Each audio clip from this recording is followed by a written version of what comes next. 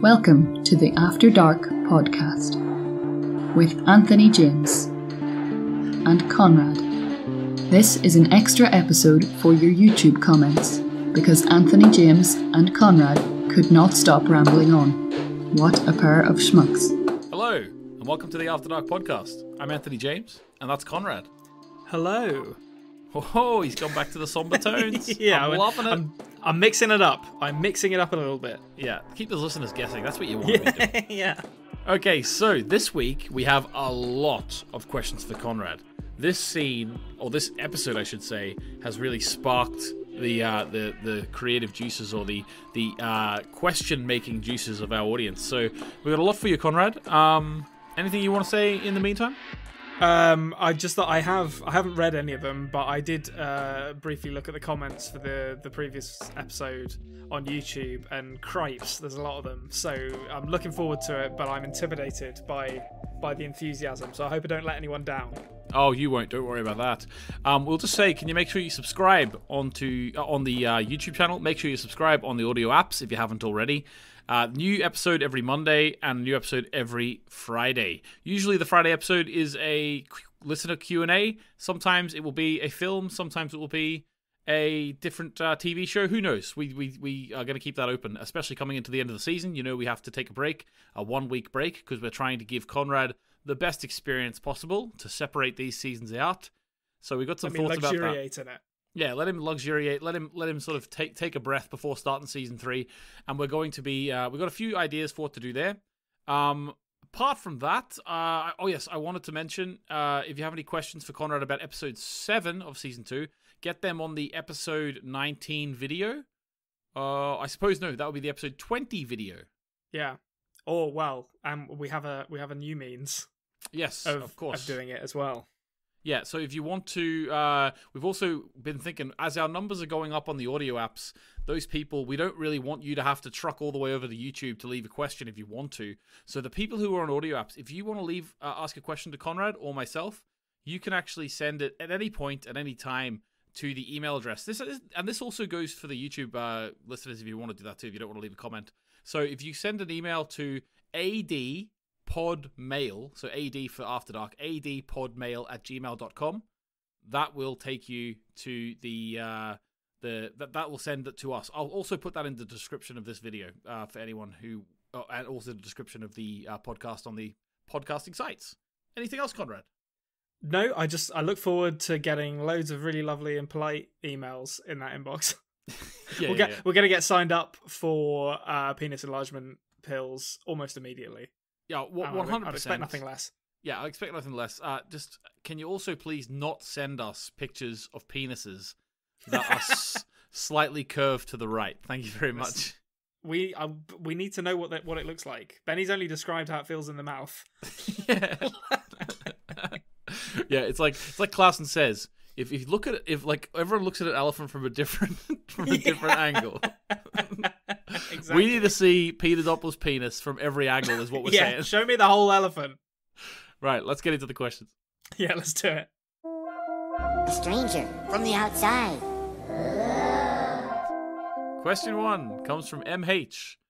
Claudius. Now we're getting to the point in the season. Now I haven't even read MH, so you know I'm not, I'm, I'm not I'm not I'm not uh, saying anything about MH here. But we're getting to the point in the season now where I am worried that someone's just going to say something which leads you down a, a path very directly. Uh, having said that, What You know. correctly or incorrectly?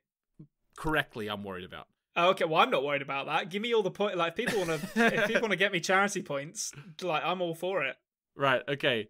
So let's go into MH's question now, which I have never Okay. read before, but I've just Yeah. glanced over and realized that I shouldn't have said what I just said before this question because it seems like I'm focusing on this when I'm not. Anyway. MH and me are on the same page. I thought that's you know we we understand each other. Okay, so MH says Claudia says something like, "I've seen a world without you, and it's not what you expect." How? What? Like, what could that possibly be? Or how could that possibly be? Sorry. It's it's got to be an alternate timeline. I just I feel like there has to be a way to so the the the, the more people talk about cycles, the more it seems like uh, these individuals are seeing multiple cycles of the same events taking place. Um, so I guess one of these sets of cycles has uh, Jonas has managed to kill himself or, or, or, or stop himself from existing, I guess, uh, by stopping Michael from killing himself. Um, Mm. But I, I feel like there's got to be some kind of alternate timeline that she has seen in one of these cycles that has led her to say that. Okay, cool. Uh, next question comes from DJKL Productions. For Conrad, why do you think Michael did try to hide uh, from Mikkel, his younger self? Why did he try and hide from him? Um, I don't know if he was hiding. I mean, well, he was, but I think it's more just being confronted with something that you've bottled up. Really, it's kind of like um, like when you when you send someone at work a really shitty email and then and then you see the response pop up in your inbox and you're kind of like oh i know it's there but i'm just going to pretend it's not and hide away from it for a little while and i think that's what he was doing with Mikkel. he he like kind of just wanted to shield himself from from that potential com- like well not conflict but that potential uh, c- confrontation with with the reality of his past i guess Yeah. Okay. Cool. Um, how do you think it's possible that Jonas uh brought Mikkel back to the cave, especially because neither his original virgin self, uh, i love that distinction nor- virgin jonas Yeah, or the chad scarred jonas yeah, nor his scarred self yet, uh, cannot remember having done that. So, how is that possible? Oh well, I mean, we see his scar. We see him pulling his um his coat up over his scar in the cutaway uh, to him guiding Mikkel through the um through the cave. So it's just uh, I, my interpretation is it's just something he hasn't done yet, um, but presumably will do pretty probably pretty soon. If uh, if I were Well, we all were- yeah, we Well, all I know when we know exactly when it's going to happen. Yeah, yeah, we all know when it happens. Like you know, so there's no real questions around that. But um, what feelings did you have while watching Jonas going back to the happenings of the first episode? um, Just, mainly can it just be a list, please? a list, Yeah. list of feelings. First, I was confused.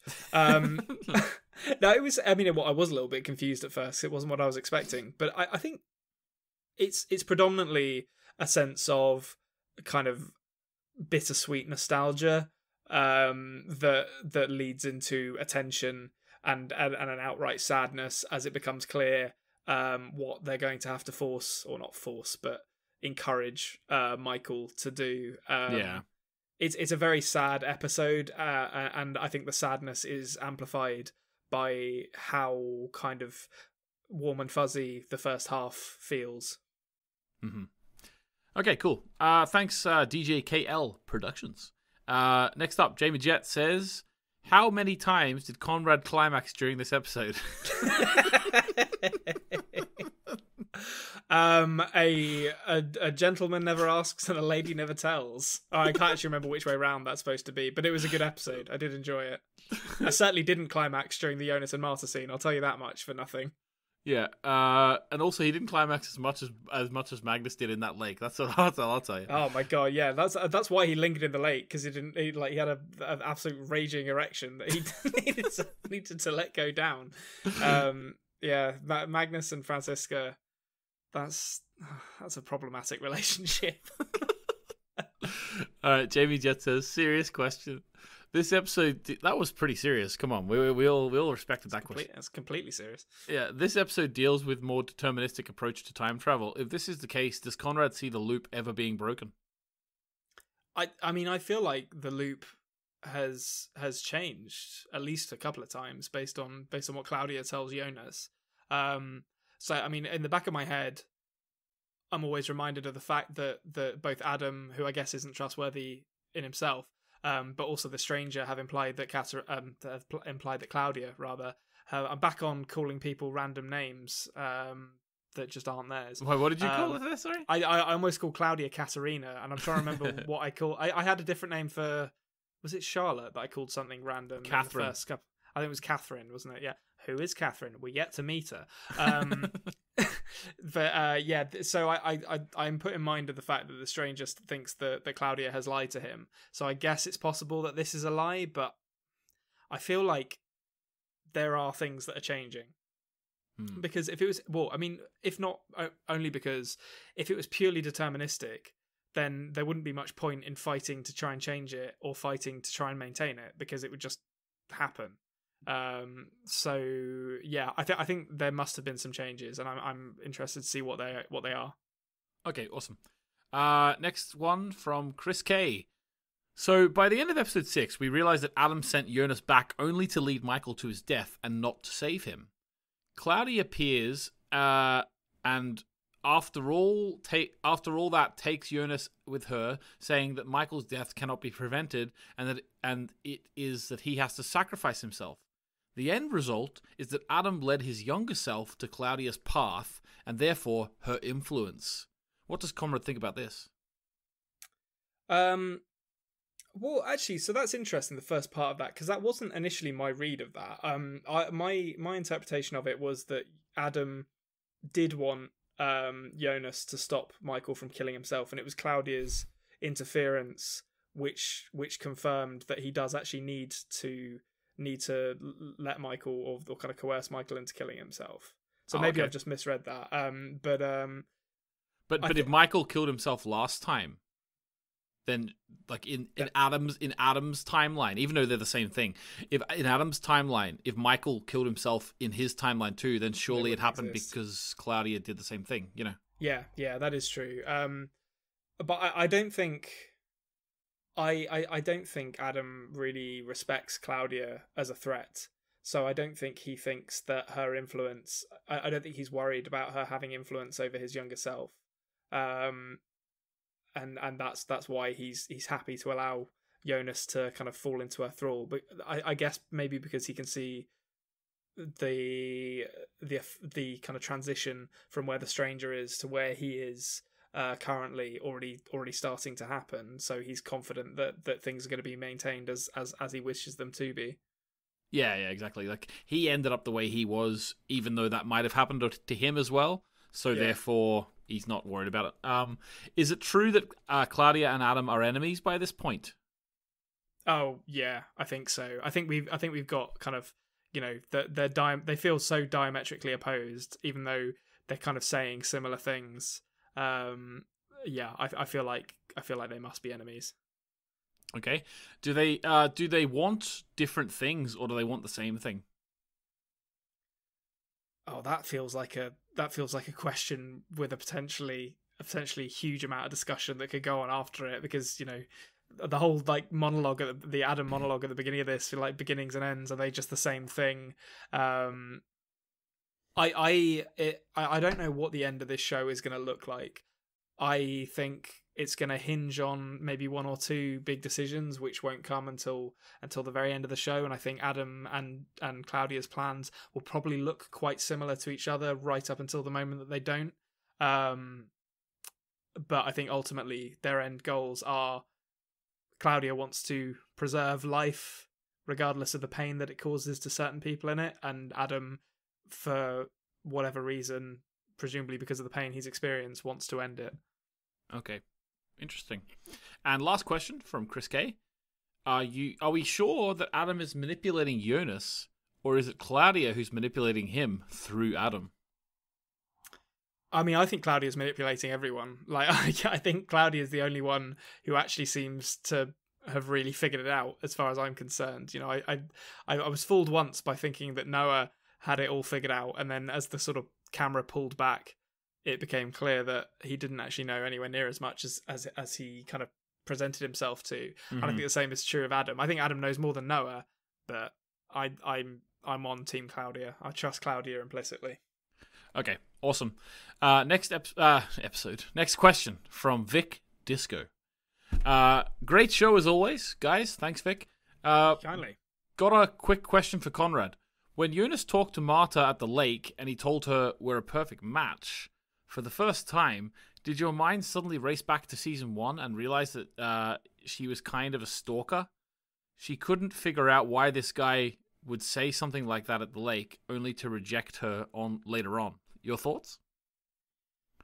Well, I mean, I I think this is just Jonas saying to hell with it when he says that. I I, don't think I, I think he has like so he at the point that he says we're not a good match, he doesn't know that his past self or guess future self at that point uh told Marta that they were a perfect match. So this this conversation actually happens in reverse.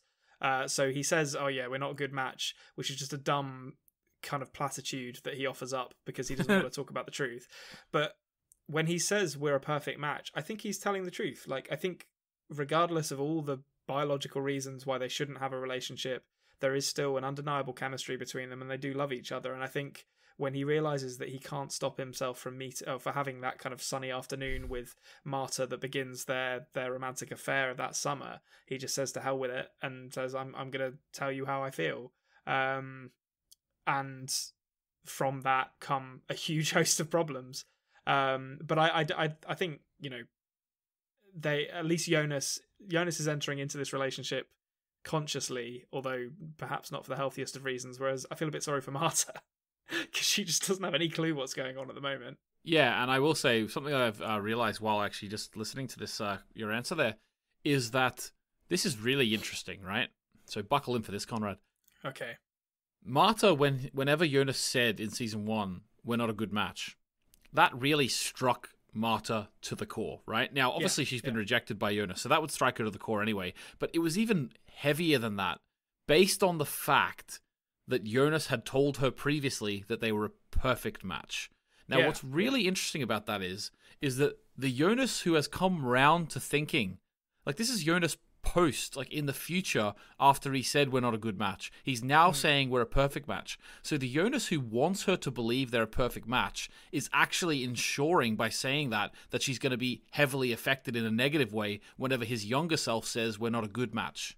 Yeah, yeah, I, I, and I think there's always that push and pull in their relationship. Like Jonas knows that they shouldn't be together because of because they're related, um, and he knows that he should be disgusted with himself for it. And I think there's a there's a significant or amount of self hatred that is is in his in uh, Louis Hofmann's performance of his character when it comes to this relationship. But there is an undeniable chemistry there that he can't really let go of. Uh, to quote Brokeback Mountain, he can't quit her. Um, yep. So yeah, and like as as as bad as it is, he he, he you know he likes the poison. And for the one person who's as big of a nerd as me, that quote from Brokeback Mountain, that actually makes up one of my favorite lost bloopers. Let's move on. So, uh, so uh, Alex asks, uh, does Konrad expect the story of the drowned lady of the lake to be important? If yes, who might it be referring to? Oh, I feel like that's I will a good just question. I will just state I was absolutely mind blown when you didn't start to theorize yourself about this in the episode. Well, I I feel like I didn't really think about it to be honest. I, I figured it was just like one of those dumb kind of urban legends, but actually that's But a, he- that's but- re- But even if it is though, I still would have thought you wanted you would want to go down that avenue. yeah, that's that is a good point. I hadn't hadn't really considered it, but yeah, I I think I would love for that to be you know one of those kind of local town ghost stories that actually turns out to have some truth in it because some someone in the twenties is going to did did they say which date she was No. supposed to have died? No, I, I don't. I think they just said ages ago, which for teenagers could be ten years. You know. Yeah, I that that would be really cool. I would love that. I don't know who it could possibly be, but I would absolutely love it if that comes back as a as a sort of um a way to work in one of those kind of small town ghost stories. Okay, if I give you a free pass that this doesn't have to go in the the the, the theory matrix, name one character who you think it could be. Um okay. I feel like it's going to have to be someone from the 20s because that's a spookier time than the 50s. Um I'm going to say Whoa, actually no, mm, 50s maybe. I'm to I'm going to say Agnes from the 50s. Okay, cool. That's my call. Awesome. Uh, right, and that, that's not a theory matrix uh, theory because it is so like you know, stab in the dark. So I mean, t- I mean to be fair, I have got on the theory matrix after the main episode that Marta's baby will go back into the t- time and become one of Katharina's parents, based on literally nothing. So, but I just don't want to lead you into another incorrect theory. You know what I mean? so listen, the I'll say- score's okay. not looking great either way. okay, if it turns out that Agnes is this lady Yeah. in the lake, you can have the point, but don't can put retroactively claim it. yeah, don't put it on the theory matrix until then, all right? Because I don't, I don't Okay. want to ca- cause you to lose points. Uh, if if if I'm just leading you down a blind alley, like, okay, so Where was, um, this, where was this charitable attitude when you told me to put Egon's dying in the sixth episode last week? that's what I'm trying to make up for. because because I, I need to I need to get some uh, moral points back because I'm I'm definitely going to try and do that to you again. Right. Okay. Marvin uh, asks, did you notice Michael's last words to Jonas about how God doesn't make errors is repeated? Uh, like God doesn't err, I think it is.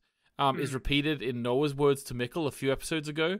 And do you think Noah was educating him for this for uh, him like uh, for for a reason? Yeah, I'm I'm glad I'm glad you brought that up actually, like because I it stood out to me um because Mikkel doesn't seem obviously he's quite young, but Yeah. he doesn't seem like a particularly religious character.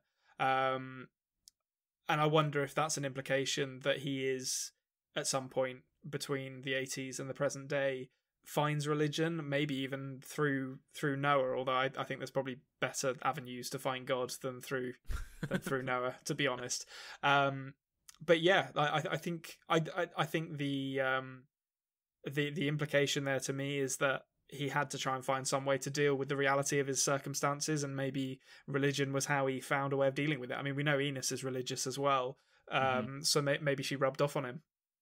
Yeah, exactly. Like she she was raised by uh, he was raised by her eventually anyway. So um also with Well, Mag in a manner of speaking. Yeah yeah. Yeah yeah exactly. Yeah when he was drug- awake. Yeah, drugged, yeah, and just let let sleep. Also, with Magnus being name dropped at the end, does it that give you any ideas about uh, how the group came to be and uh, who else could be members? So obviously you said Franziska, and I confirm that to be honest with you. Yeah, so Franziska and Magnus, I'm pretty sure Bartosz is in it just because I, I'm sticking with that guy who gets killed with a pickaxe is Bartosz because they look so alike. Um, uh, Bartosz being in it kind of messes up my everyone's a Nielsen theory.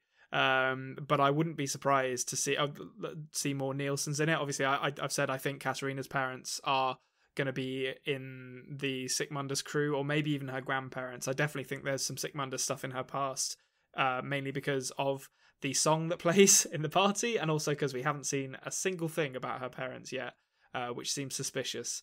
Um, Mm. But yeah, so it's um, I, I I think the Nielsen's are going to have to play a very significant part in the Sic Mundus cult, and I don't really understand why yet.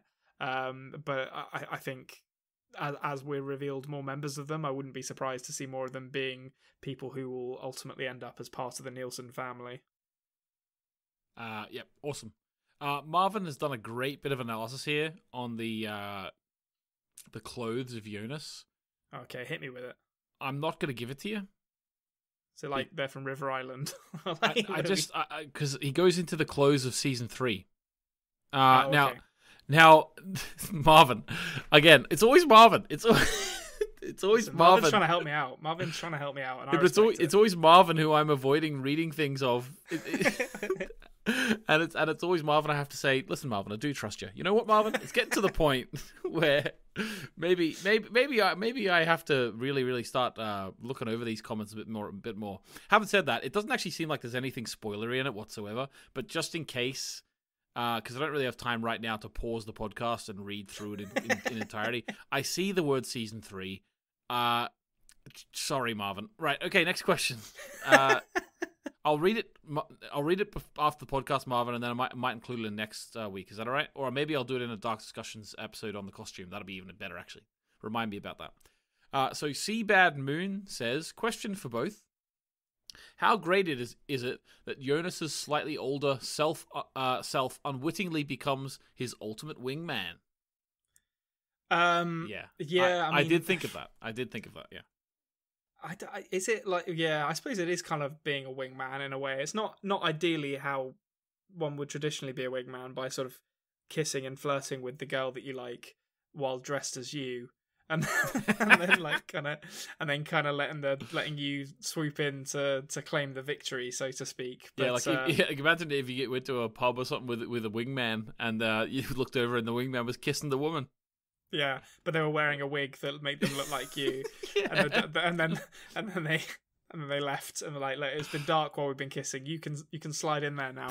oh, sorry, that's a horrible turn of phrase for what, what we're talking about. That was not. I did not come out as I anticipated it to. Um, yeah, I mean, it, I I actually think older Jonas uh, was trying to uh, sabotage the relationship um, initially um, but but then screwed that up by being too late to stop the meeting happening. So it's just like ah whatever. Um, where and the irony being that if he had just done nothing, the relationship probably wouldn't have happened as it did. Yeah, yeah, because he, he has lived to this moment thinking that uh, talking about grannies and the internet is what got him in. Oh yeah, that's uh, like uh, I've got to frankly- stop the granny and internet talk. If I don't stop it, it's all going to happen again. Yeah, the, I like the the fact that he has replayed this moment countless times in his mind, and he still thinks that that's what did it for Marta is as arrogant as I can possibly imagine. All right. Uh, uh, Seabad goes on to say, also, how does the, his this aunt nephew relationship rank next to other shows, unnamed in case of spoilers? But I'm sure you know which one. Aunt nephew relationship. Aunt nephew relate? What as in specifically aunt nephew relationships, or just It's, incest? It's in Game general? of Game of Thrones. He's talking about Oh right, okay, yeah. Like so. in terms of um, a, a particular blondie uh, woman and a particular smoldering man. Are we talking about the Lannisters? I don't know. Like, no, figure- they're they're twins. I'm talking Oh about yeah, okay, and yeah, I'm with you. I'm with you. Yeah, um, yeah, that is. This is a lot more believable. I believe these two Yeah. like each other, whereas like uh, that that relationship is so undercooked in Game of Thrones that it's just like we like each other now, and then there's like two episodes, and then it's like we don't like each other anymore, and Yeah. like and in this, it's it's much much like better realized.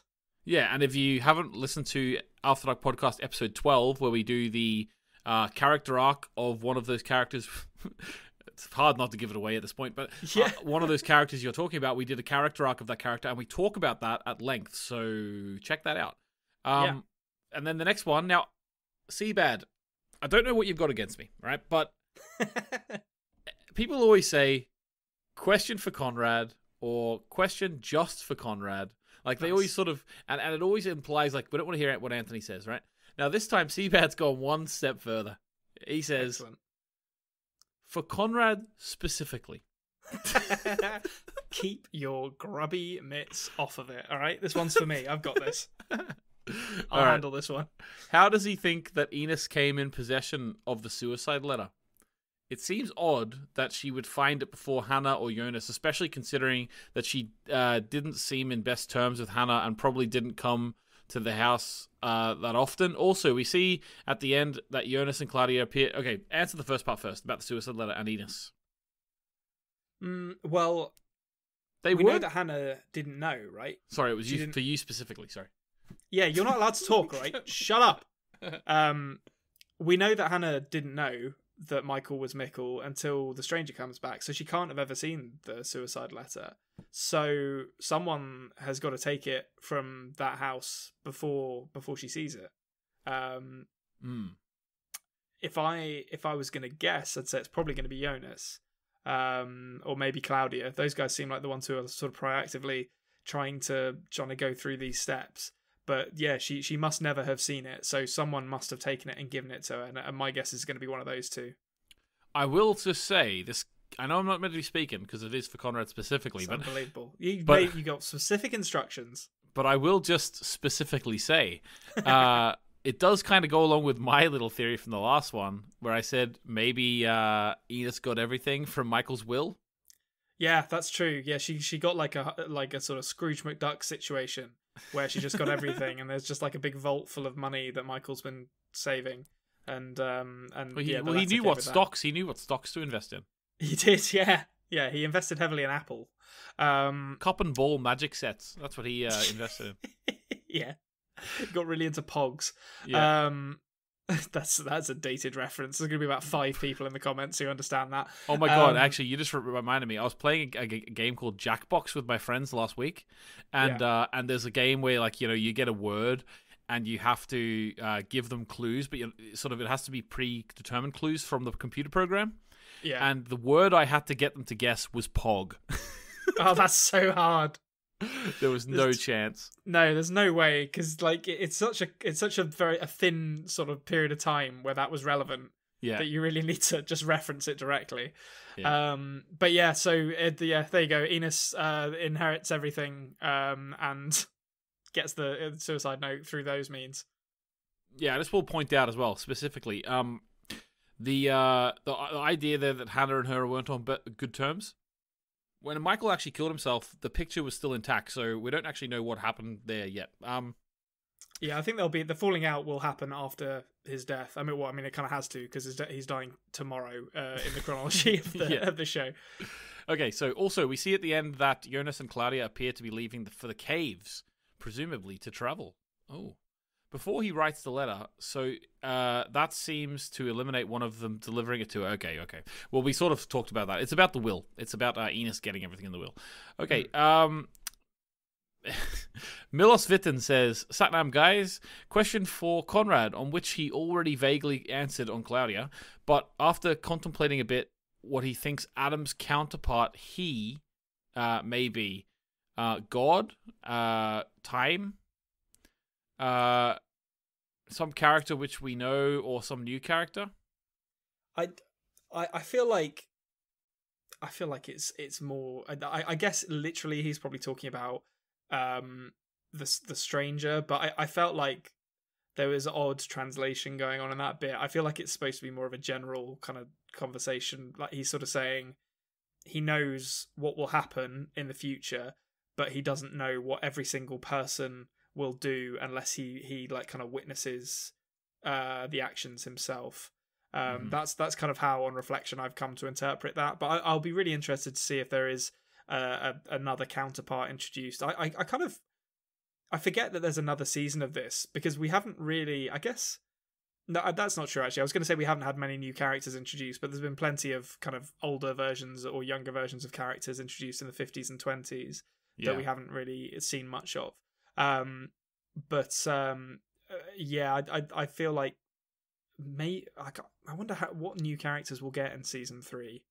I'm fascinated to see that. I, I, maybe the Sic Mundus crew will get fleshed out, and maybe there will be other people operating you know, um, outside of their influence alongside Claudia. Okay, cool. Um, right. Okay. Then there was a little bit for me here saying, if you recall your first watching, what was your thoughts on the same? So, in terms of the counterpart thing, um, go and watch my first ever video I put on YouTube. That was my thoughts at the time. Okay. Nice plug, excellent plug. At the end, at the end of this uh, series, Konrad and I are going to be reacting to my theory videos for season three. So, and and we're going to see what he thinks of the theories that I cooked up at the time. Um, so stay tuned for that as well. But um, yeah, if you want to go watch that first ever video, it's called uh, Dark Theory. You've done yourself now. I know I don't really want to give it away, but dark. It's like dark theory, basically looking into the religious themes of the show. That's all I'll say. Uh, right. Okay. okay. We're only two episodes away, Konrad, from you actually watching them with me, anyway. So Yeah, okay, so uh, then they uh, just to add at the end here, Miloslav uh, Milos says uh, also what Konrad, what does Konrad think uh, whether Jonas will manage to succeed in his mission? I think at this point, what I imagine what you mean by that because we know that he didn't succeed in saving his father, but, but probably you mean now because Claudia's saying that you need to fight against your older self. We'll go with that. Do you think he'll succeed in that mission? I think I think he will, but I I think that you've really nailed the crux of the issue there. Like Jonas, Jonas's mission has changed about seventy times since this series started. like because the goalposts just keep moving as he as the camera pulls back to reveal how big this problem is. Um, so I think it would be naive of me to say I think the mission that he's on now is going to remain his mission for the rest of the series, just because it's changed so many times. But I think ultimately he will fix things. Like that, it will go back to Winden existing as it did, as if the the timeline had or the time loop had never been caused. Mhm. Um, but I feel like there's gonna there's a lot of there's a lot of road to travel before we even get close to that. Awesome. I think this is just a nice time to also just reflect upon your what your hope, what your thoughts about what season two would be about. Was you thought that we would be in the the, the future for the vast Yeah. majority of the time? Yeah, I figured like that was the most underdeveloped timeline.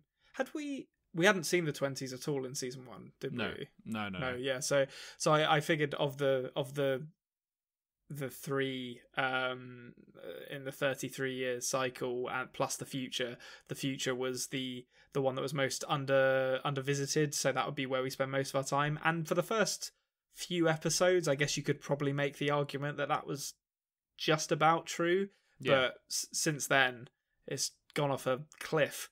There's just Yeah, no future. like, Yeah. but I'll, I'll be interested to see if there is more in, in the in the end of the season. Actually, Oh, because right. No future. Uh, okay, Yeah, yeah. So, uh, question for both of you. This comes from Santino. and so, excuse me. Santino says, "Have you thought of the fact that in 33 years we will see the actors age, and we will be able to compare in real life uh, their real their real life aging to the show's casting?" that'd be good. That yeah, that will be very fun. Um, I I feel like looking forward to viewing the ravages of age as a man who is in his thirties is a, bit is a is a bit too real for me, quite frankly. Can Quite you can you can you imagine when you're 65? Yeah, imagine how fucking awful you'll look. So, like- like, thanks, guys. Yeah, no, it, it will be cool though. Um, I, I wonder, I wonder who will look most like, um, their older self in this. I'm gonna, I'm gonna say, Yes. even though the the the war, yeah, Yasin, yeah, the war will have come and the world will have ended, so no, YouTube won't exist anymore. But on the off chance that you know our new insect overlords find this video in a data crystal or whatever we're using then, um, I think yeah that Yasin's going to be the one who most looks like Alexander when he gets older. yeah, I think it's going to be a dead on. Yeah. 100% dead on. Can't believe that casting, and I can't believe everyone's trying to guide me away from that theory as well. it will never die. It hasn't been confirmed one way or the other. Yeah, I mean, you know, we I haven't seen Yasin's body. I've seen a body, which maybe was Yasin's. But even But- at that, it doesn't matter if you saw Yasin's body because you saw Helga's body too, didn't you? Yeah, that's true. That's a fair point. Yeah, Helga died. There's two of them. There might as well be. There's two of everyone. Yeah. Also, Santino adds. Also, what do you think about Stranger Jonas being 51 years old in the, in real life? Is he He looks- 51? He looks like he looks uh 35. Yeah. Um. He well, well that's how old. I don't know about actually. Maybe the actor. I know I, the actor's definitely in his 40s at least. Yeah, The I'd, I'd put him in his 40s. The actual character though would, would be 51 or 50 at least. I mean, he's a yeah, he's a he's a very healthy 51. Um, uh, in terms of how he looks. Um, I don't think yeah, he, like- I don't think he looks 35. I think he definitely looks no, he looks older 40. than his 30s. He looks. I remember this is a complete aside, but I remember when I was like 14, I used to go onto like role playing chat rooms um, to play like Dungeons and Dragons online, and um, I made a character when I, yeah, so I was like 14 at this point, and I made a character, and I wanted them to be like a haggard old man, uh, so I made their age 31. Um, and I look at that now as a 33 year old, and I'm like, God damn it! That's like. I was so far away. Yeah, and the fact that you're first you're watching Dark for the first time at the age of 33. Yeah. Come on. That's that's not lost on anyone. No, that's a good point, actually. Yeah, there, there you go. It, it can't just be coincidence. Yeah, exactly. I'm Uh, in my first cycle. yeah, yeah. Uh, you just reminded me. I'm not a huge Friends fan, but you just reminded me of Friends. You know, like oh no, no, sorry, no, it's not even Friends. What am I talking about? It's It's Always Sunny. You know, uh, into the second act. We're in our second act, D. Oh, yeah. You're already into your second act, and, and your first act was awful, and your second one's not going to be any better. so good. Uh, I don't know why my mind went to Friends there. Uh, obviously, like in my mind, uh, it's always Sunny, Seinfeld, and Friends are all sort of in the same ballpark because they're they're very different shows, but they're all about groups of friends uh, who live in live in a city. Seinfeld and It's Always Sunny, just for uh, anyone listening, It's Always Sunny is what Seinfeld would have been if it was made now because it's just about Yeah. four friends who are absolute dickheads. Uh, yeah, they're, they're awful to each other, and I love it very much. yeah, it's great. Okay, uh, question for from Master Onion North uh, says, uh, yeah, can Konrad explain why no one else, with the exception of Michael, uh, noticed that Jonas suddenly has longer hair? yeah, I, I guess they just don't pay attention, to be honest. I mean, like Ulrich and Katharina, they they were like annoyed by the fact that that um, their son had a potentially life threatening disease. So I don't think they're paying that much attention to like what other people's children look like. To be honest, they barely pay attention to their own. Um, I'm trying to think who else. actually- Marta. oh, Marta did. Yeah, Yeah. Marta's the big one. Sh- Yeah, uh, let me just say, if in thirty years' time or whatever, the nephew and the and the nephew and the auntie are hanging about, like living together as like a middle-aged couple, and Yeah. like Marta comes in from the hairdresser, you know, with the new hairdo, and she gets annoyed that Jonas didn't notice. Jonas has got it on her. You know, Yeah, he's she, got he's she, got one in the bank. She can't say a thing because she didn't Yeah. notice his. You know, Yeah, that is that. it, Like, it is odd that that she didn't notice his hair. Like, given she was, I mean, like Michael hadn't seen Jonas in a few hours, and uh, you know she had literally seen the other Jonas about thirty seconds before, like Yeah. the the the older one turned up. So she probably should have noticed. she should have, but she didn't. Dark cancelled. Right. Okay. So Pep Pep Cool says, question for Konrad. This is the first time that Jonas met Claudia, I believe. Do you think Claudia has met Jonas before? Uh, for example, 50s or 80s or old Claudia having met an older version of Jonas, perhaps even Adam. Uh, well, I mean, she says um, she's been looking forward to meeting him again. Um, and in fact, it's a great line because yeah, she she's like, "Oh, I've been looking forward to meeting you again," and he says, "I don't know who you are." so like, it's uh, it very heavily implies that she's met a different version of Jonas, um, and um, and will you know that uh, well it has potentially influenced him at different points in his uh, in his timeline. So I'm interested to see what she's actually done. So, I, mean, I suppose her stuff with Stranger, it's not really been revealed what she's actually done with the Stranger up until this point. It's kind of vaguely hinted at, but um, Mhm. I wonder if we're going to get more of that. But you know, she's she's definitely seen other versions of Jonas up until this point. Yeah, definitely. Uh, because that line would directly imply that, I think. Uh, so, um, Blau, or yeah, Blau K asks Konrad, in the last episode, you said the show tends to operate in mirrors. Can you expand on that thought? What predictions can you make for the mirror theme in future episodes? Um, well, I think it's it's quite it, it's normally in sort of character behaviors and and sort of thematically in in, in each episode. But I think the the mirror between Jonas and his and his older self is is an obvious one. Um, I think the the the mirror between Claudia and and Adam is also is also quite apparent.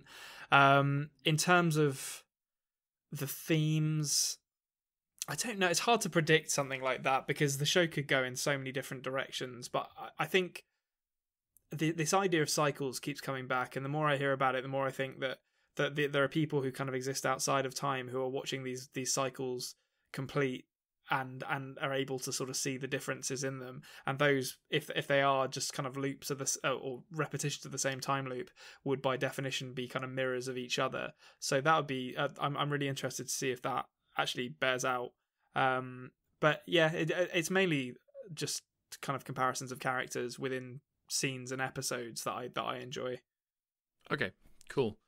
Um, okay, so Master on your North uh, adds in here uh, to Jamie Jett, who asked how many times you climaxed. Uh, J- Jamie Jett asks, uh, the more important question to Konrad is, did he cry during the episode?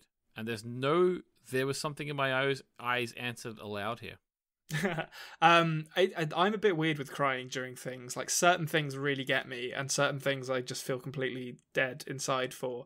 Um, so this, uh, but I can still, you know, objectively look at something and be like, "That's really sad." So Dark has not made me cry yet. Um, the Egon and Claudia stuff uh, from the episode before last was really sad. Uh, the Jonas and Michael stuff in this episode was really sad too, and and you know, definitely I had an emotional response to it.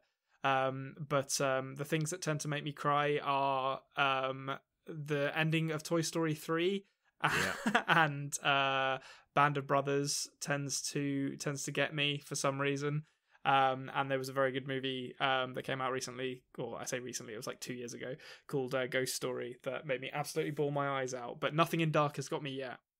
Interesting. Uh, m- well, I wasn't asked, but uh, specific. I, I will Once spec- again, you're just chipping in when you're not invited. I'll specifically answer this one, but um, basically, uh, I am a really big crier at films uh, and TV.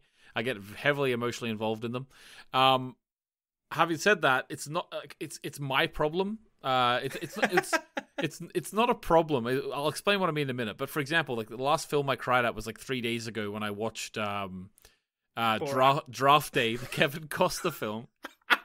uh, whenever it's about an NFL draft and just the the what do you call him? Uh, Chadwick Boseman's character got drafted, and uh, he was such like a sort of uh, underdog, and he did, did anyway. It got me right, And then I also la- uh, cried at Dennis Quaid in the film The Rookie about an old man who becomes a baseball pitcher. That made me cry. I Uh, say, but I mean, like stories of sporting success are like ready-made to make Yeah, you yeah, cry. yeah. It's like Remember the Titans.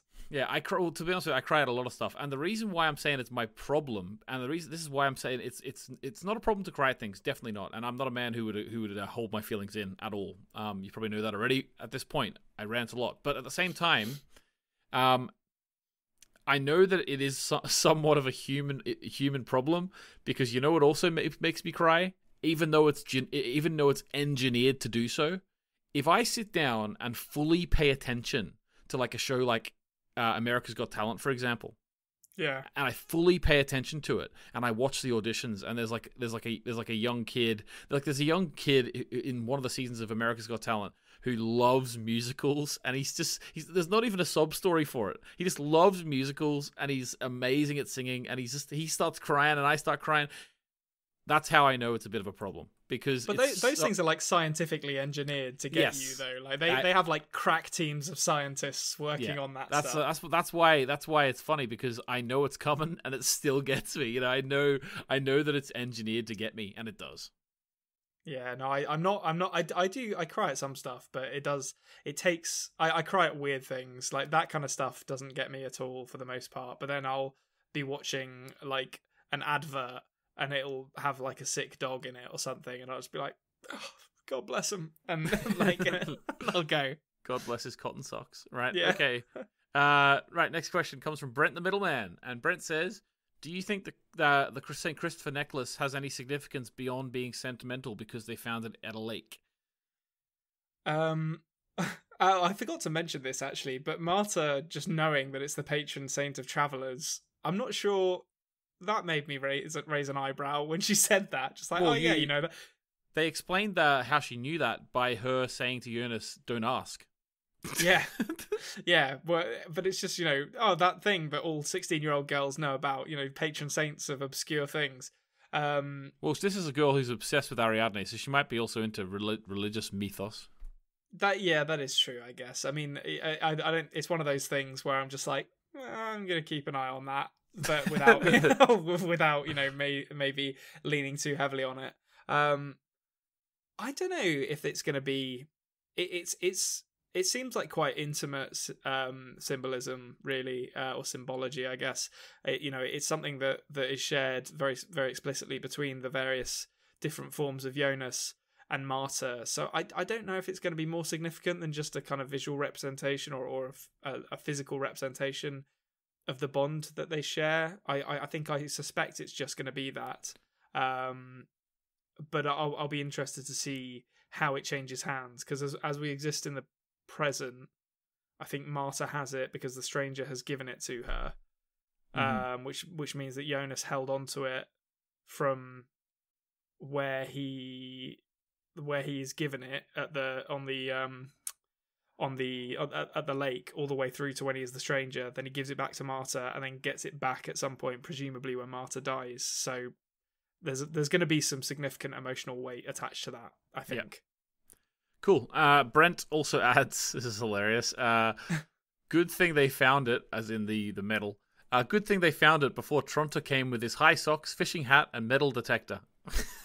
uh, uh, I feel like Tronte definitely is one of those types Yeah, goes that- like that- that's why- at the beach That's why it made me laugh because it's just Yeah. such such a great summation of you've, his you've character. absolutely you absolutely nailed Tronte there like yeah. he's that? It's like, oh, I've got, found a couple of marks on the beach. I'll uh, pop those in the pocket, and that'll Yeah. pay for pay for the ice cream or the newspaper he's going to buy on the way home. Yeah, it's great. Um, okay, so uh, next, uh, Konrad, I'm sorry, but you're getting a bit of a you, the egg's all on your face here. You've got Oh, egg all over your face. Gene Kim has come in and pointed out, and this is, you know what, we might have to stop recording here, guys, because he's going to be too embarrassed about this. Oh no, am I getting? I'm getting dunked on. Yeah, you're getting dunked on. Ulrich looks pretty good for having aged 66 years, eh?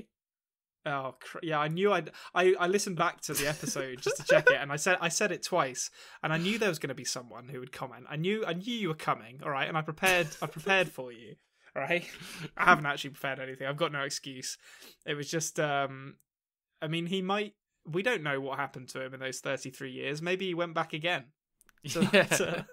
and he's hundred years old now. yeah, and he's yeah, he's like hundred. We don't know, all right? Yeah, and there's no, there's nothing you can say that can convince us otherwise. yeah, yeah, exactly.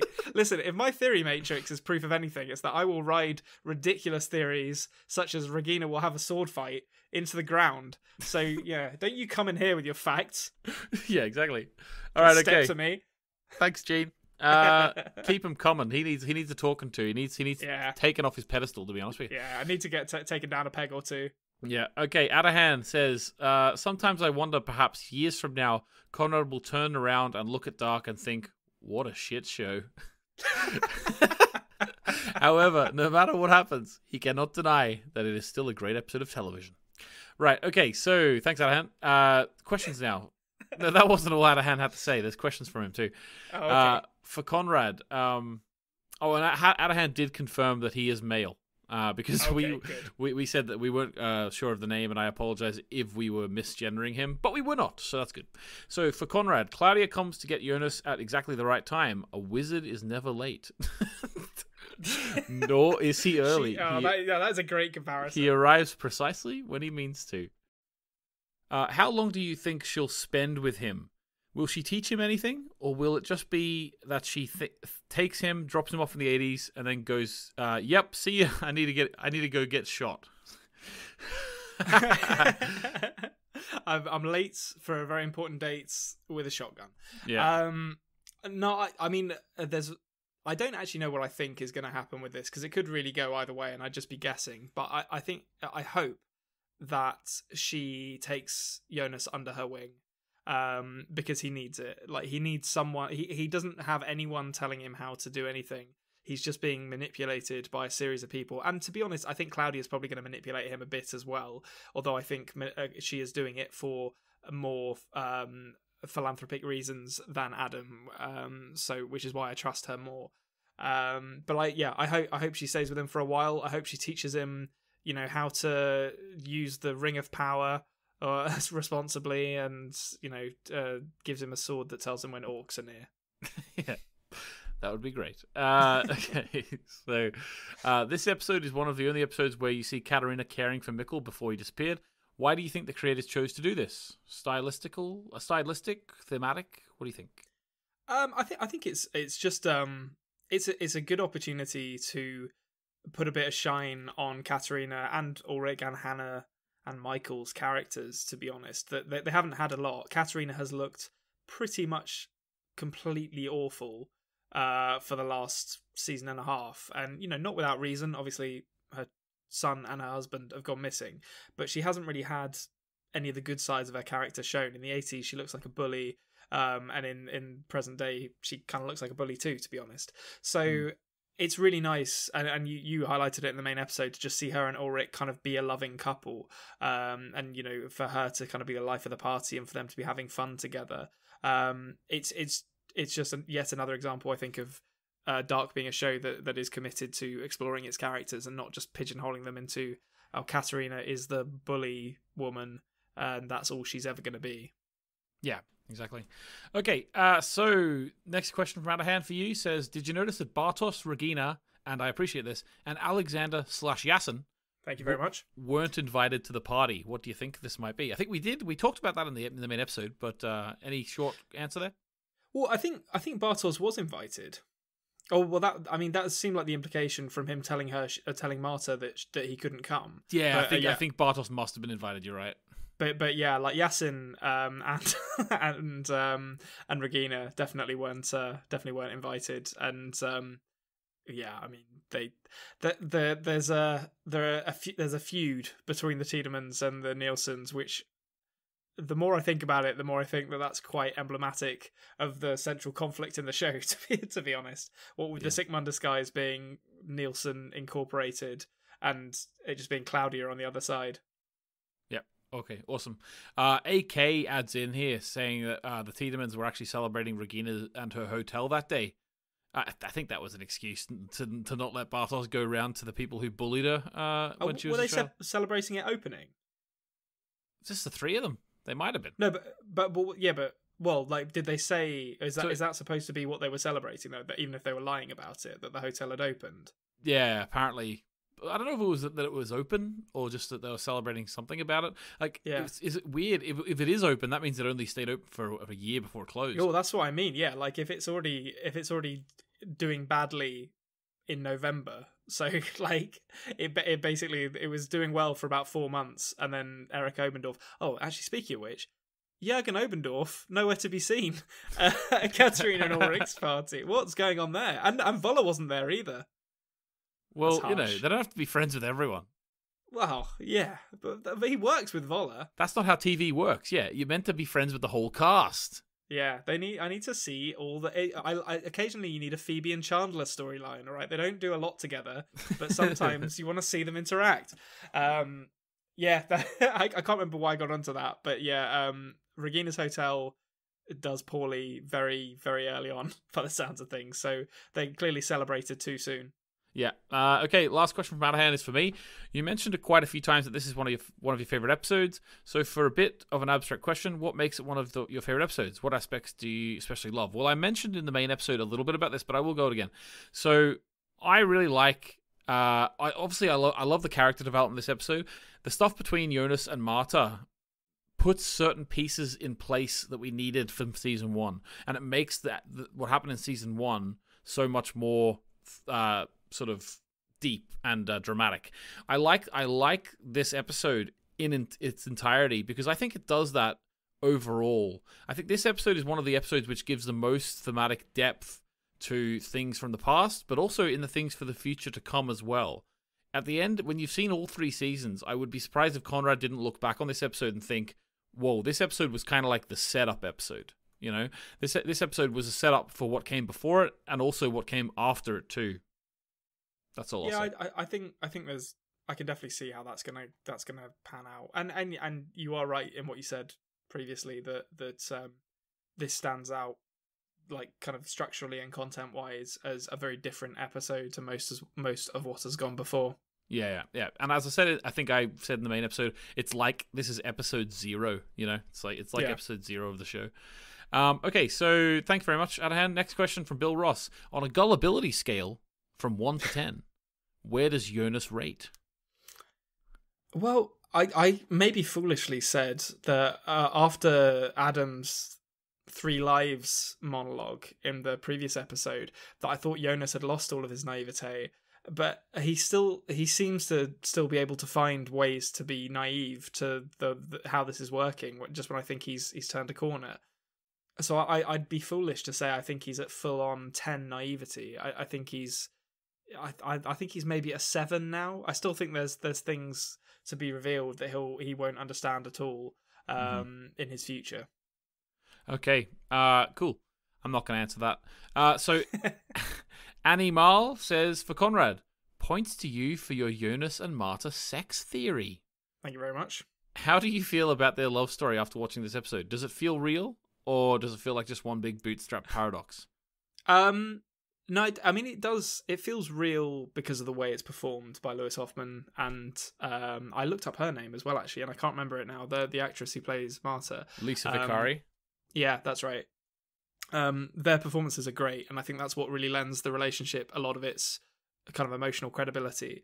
Um, it obviously it is underpinned by a tremendous amount of discomfort because it's a, a- nephew and aunt having sex with each other.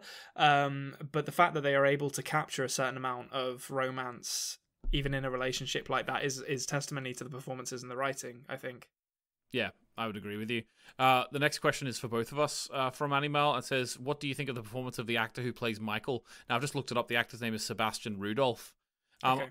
I think that the actor who played Sebastian Rudolph had a really hard job, and the reason why I say that is because this show is full of amazing actors who have got at this point become so used, uh, so like sort of familiar to the audience that we're just used to every, every part of the way they act and their sort of their emotions, their, their emotional scale, so to speak. Uh, and to be an actor who has been a present figure the whole time, but this is the first time we've actually ever seen him acting. Um, and I thought he knocked it out of the park. I thought he he he he matched the performances of any every any other actor in the show. That's what I felt. Yeah, I- I mean, it might I'm trying to think back. This this is probably the first time we've really heard him speak for any extended period of time. Except for when he read the letter at the end of episode yeah, five, I guess season read my one. letter. Yeah, um, yeah. So I I- I agree. I think he was fantastic. I think he had a lot of catching up to do, and and the the amount of um the amount of pathos he managed to put in his performance, and the amount of believability and just character he managed to bring into his performance with so little uh prep was fantastic. Yeah, I agree. Okay, last question um, from Artifacts Entertainment. oh, okay, that's a About- good name. It's about Wöller's eye. Okay, nice. Finally. What, what are the chances he has, or I suppose it should say had, heterochromia, and that he is related to Claudia? I, that's I'd love that to be true. That's what. So uh, uh, is is is what was this commenter's name? Sorry, Uh, I said I Ar- liked it and Ar- immediately forgot it. Artifacts Entertainment. Artifacts Entertainment. So is the implication there from Artifacts Entertainment that Wöller was so ashamed of of his relationship with Claudia that that he plucked out his own eye, um, as if in defiance of the the hero's burden that has been placed on him by being an illegitimate son of Claudia. Well, I think that's what we're all thinking. Yeah, I mean, Wöller, Wöller's obviously going to become the hero in season three. I think that goes without saying. Um, and like Yeah. most heroes, as as you well know, um, you know, being familiar with the hero's journey, they will Yeah. initially reject the call, and that that's what, Yeah. and that is what Wöller has done by plucking out his blue eye. He said, "No, I can't accept this power."